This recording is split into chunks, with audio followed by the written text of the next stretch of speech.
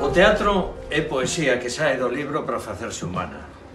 Eso decía Federico García Lorca. Nun momento como este, reivindiquemos a arte e o teatro como revulsivo necesario para conseguir unha vida máis digna. Este 27 de marzo, berremos desde as nosas casas, desde as nosas terrazas,